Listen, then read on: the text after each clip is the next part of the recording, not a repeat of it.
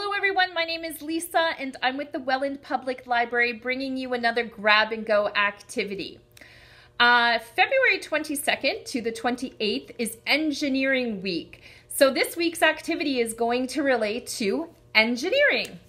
Now you may be saying, what is engineering?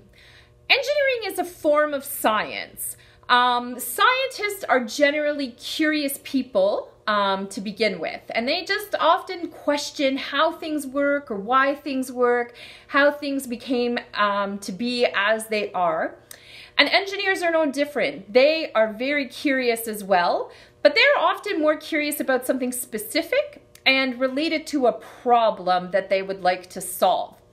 And there are many different forms of engineers, and they all um, solve different types of problem. So for example, civil engineers are a type of engineer that build buildings and bridges and things like that.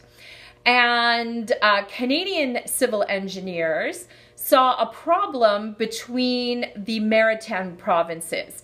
They saw PEI being rather isolated from the other provinces because it's an island. And the only way to access that island for uh, the longest period of time was by boat or by ferry. And this was expensive and not very convenient.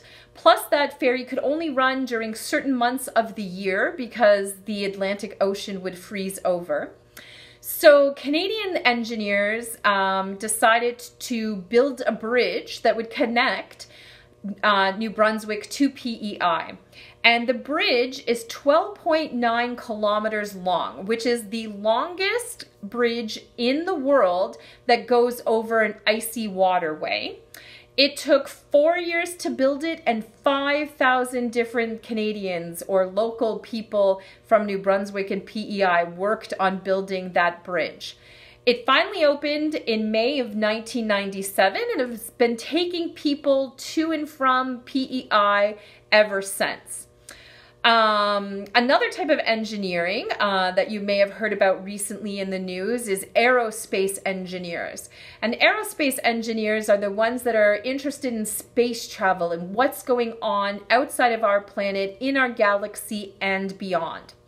And aerospace engineers were able to come up with another rover to land on Mars. And so it just landed on Mars and it landed where we believe was a large uh, former lake in uh, on Mars and we're very excited by that because scientists believe that life has to have something to do with water so landing the rover there which uh, engineers built and engineers were able to get out of our orbit and land on Mars uh, will hopefully give us some answers to the question is there life on Mars or was there life on Mars based on um, where this rover just landed. And there are also biomedical engineers. These are engineers solving medical problems, currently very busy um, during this time. And they would be solving things that are going on in hospitals um, and things like that. There are chemical engineers that may be designing different things like the vaccines and stuff that we may be receiving soon. But they also um, focus on things like batteries, chemical engineers. So they're the ones that are maybe making a longer battery life for your tablets or your telephones or your Nintendo Switches and things like that.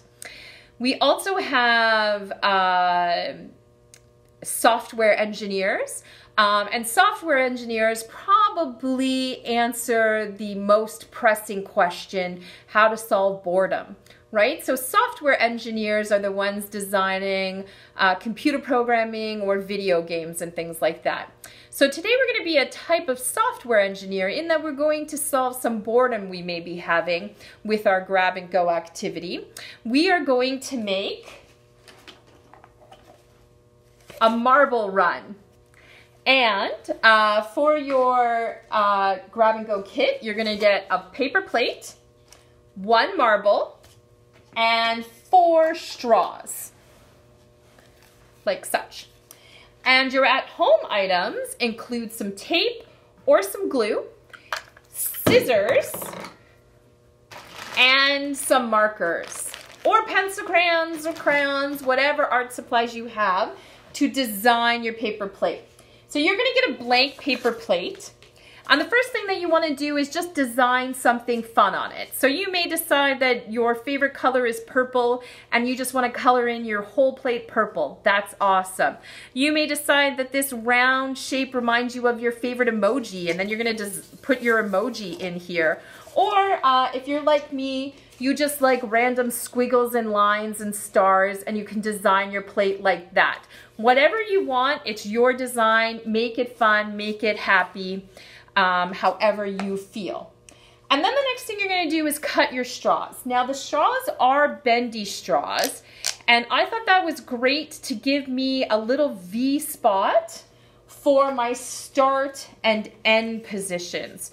So you can see here, this is my start, and then my marble will sit inside there, and then when it gets to the end, it will also stay in that scooped out area of the V from the bendy straw. And then you're gonna cut your other pieces of straw. Um, you can cut them whatever lengths you want. Um, I always say try to go longer first because you can always make it shorter, but you can't make it longer once you've made that cut. And then you're gonna lay out your plan. So you may decide that you want it to have a start and an end. You don't have to though. Uh, and then you may decide that you want it to go around like this, or you can try horizontal and it has to go through all of the paths. Whatever you want, lay it out. And once you have a good idea of where you're going to place them, then glue or tape your pieces down.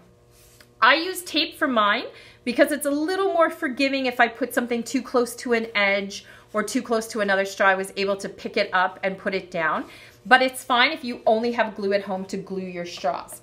And then once all your pieces are down, you're able to play with your grab and go activity. So you can try to make your marble go through your maze uh, and get to the end. And once you have become a marble maze expert, you may want to challenge the rest of the people that you live with to try to solve your marble maze. And you can make it mandatory that it goes around each straw. Maybe you say that it has to go backwards and forwards before it gets to the end. Whatever you like. The choices are yours. Now, if you're interested in learning about engineering, we have some very exciting books at the Welland Library. We have Engineering, Engineering Design at Work. So this book I love because it talks all about the different types of engineers and what they're doing. And they also talk a little bit about how things may have gone wrong in that engineering um, pathway before as well.